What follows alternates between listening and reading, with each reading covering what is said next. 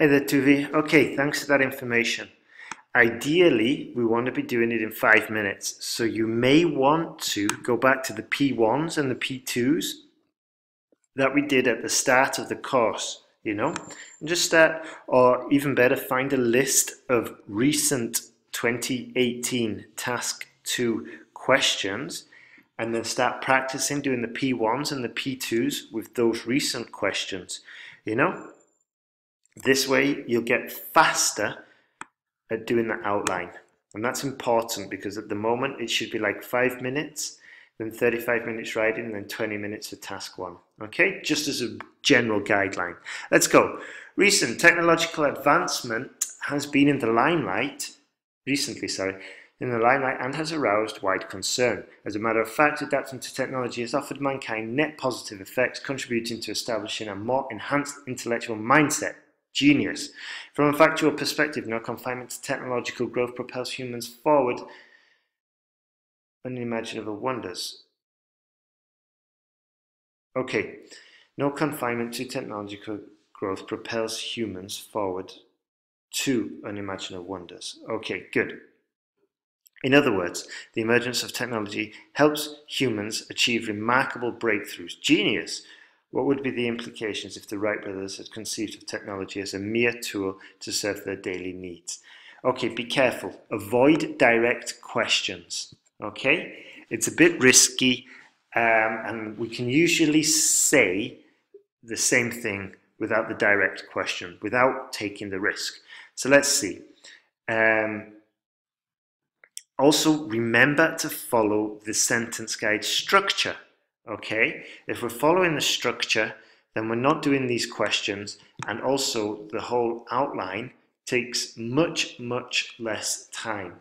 And trust me, Tu Vi, if we put your writing expertise into this paragraph structure that I developed, we're going to be doing much, much better if we follow it a little bit stricter. Okay, so here we should be saying something like this is because.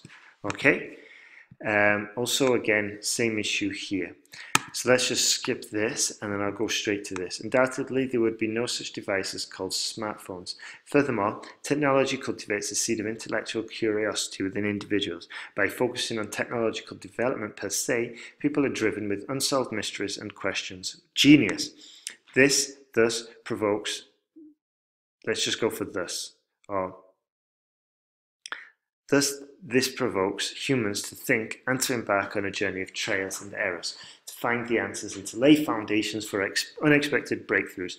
Undeniably, the pursuit of technological innovation elevates mankind to the thresholds of wonders. Why don't we talk about adapting to technology?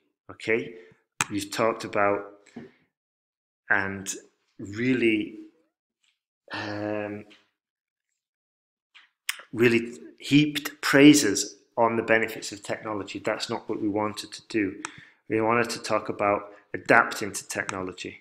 Okay, so you need to double, triple check task response um, and yeah, double, triple check it and make sure your outline corresponds to the question.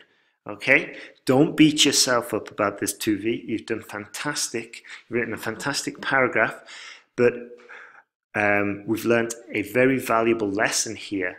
Okay, so just remember to double, triple check task response. It's very important. Simultaneously, technolo technology is certainly an underlying factor that increases humans' intelligence. In particular, each new invention requires a great fountain of specialized knowledge, either to create or to utilize. Great. For instance, the introduction of iPhones is the result of complex algorithms in programming and applied to scientific theories in elect and applied scientific theories in electromagnetism. Statistically, it also takes an average person with no prior exposure to any smartphone to be attuned to the iPhone's function. Are we talking about Okay, iPhones, here? Moreover, technology plays a pivotal role in boosting memory. According to a recent study, Technology and the Unknown, published in January 2018 by Harvard researchers, approximately 80% of children from 10 to 12 using technological devices on a regular basis show a distinct level of better memory. Good.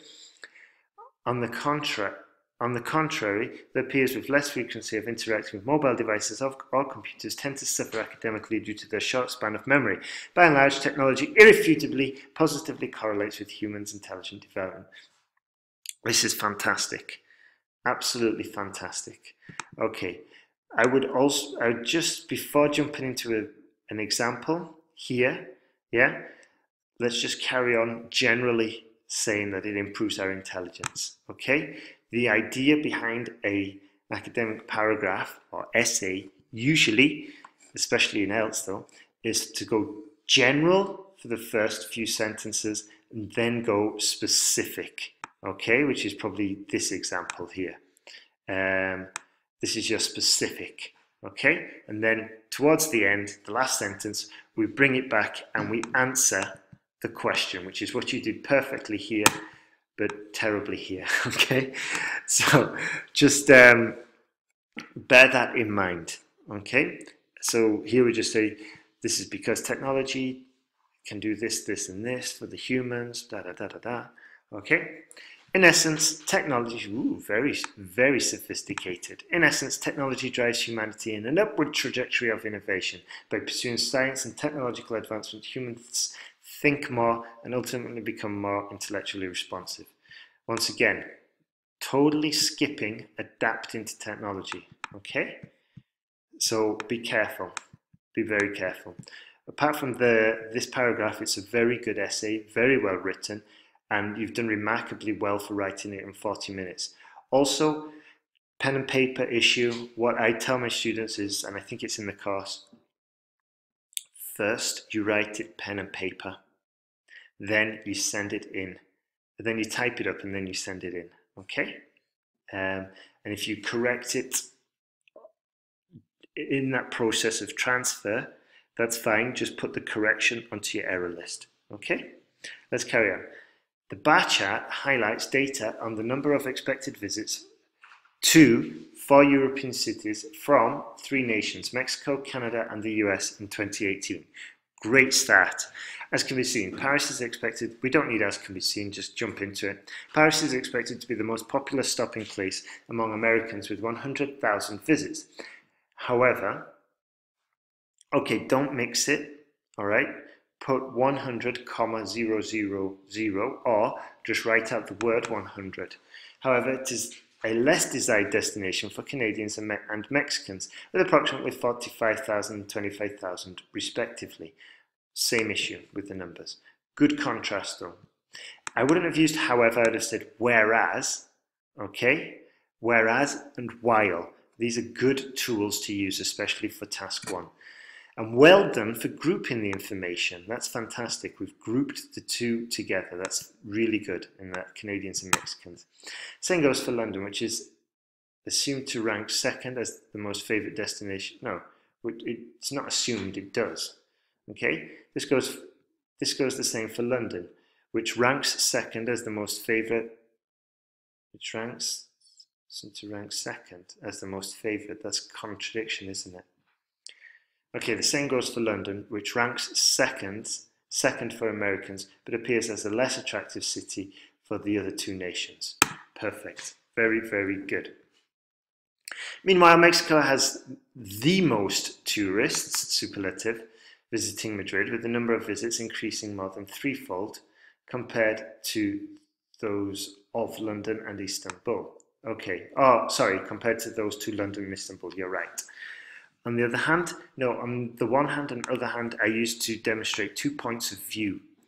Um, so once again, we use whereas or while or in comparison.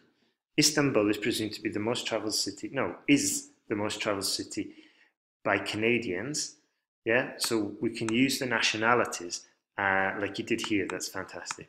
So Istanbul is the most traveled city um, by Canadian tourists or by tourists from Canada in 2018, the same number of visits to Madrid in America, about 70,000 visits. Good.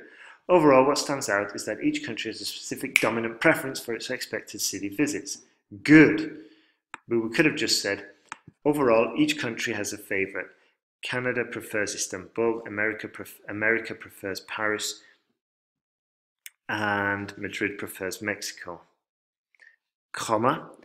Incidentally, London has um, London is not the most populous city for any of the countries. So what we do here is we state the overall trend, then we state the ex the what's it called?